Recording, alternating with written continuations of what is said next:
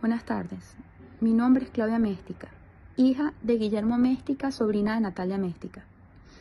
Me dirijo por este medio para rechazar contundentemente las declaraciones dadas por el fiscal el día de hoy. Señor fiscal, usted sabe que esas declaraciones que usted sacó, tanto de mi tía como de mi papá, son falsas. Usted lo sabe, nos quitó los abogados, mis abogados no han podido entrar y tener comunicación ni una sola vez desde que ellos llegaron al CONAS. Ni una. Más de nueve días aislados, sin poder saber si estaban bien, si habían sido torturados, si estaban comiendo, nada. Entonces, ¿usted espera que yo crea eso?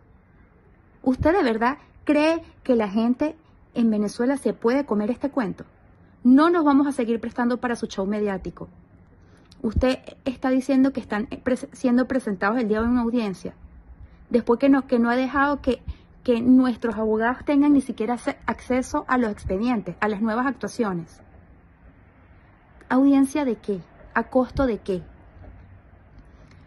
Le asignaron un defensor público, el cual lo hemos llamado, le hemos escrito y jamás nos ha dado la cara.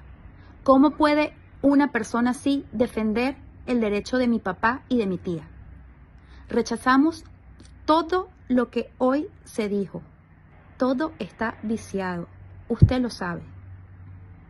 Si usted quiere seguir con su show, sígalo, pero no lo haga a costa de la vida de inocentes. Mi papá tiene un hijo especial.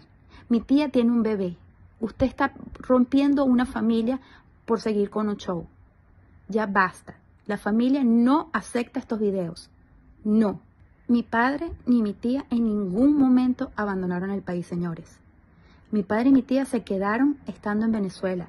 Mi tía jamás se fue huyendo a Chile, para que lo sepan. O sea, hasta hay incongruencias en lo que lo ponen a decir. Cualquier persona que pueda ver el estatus migratorio de mi tía se puede dar cuenta que mi tía jamás se fue a Chile.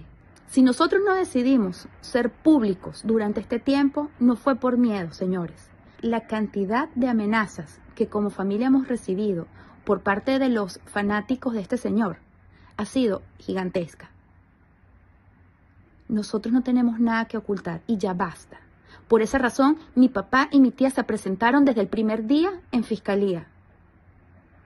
Porque si ustedes querían investigar, investiguen. Pero no se presten, por favor, a este show. Ya basta.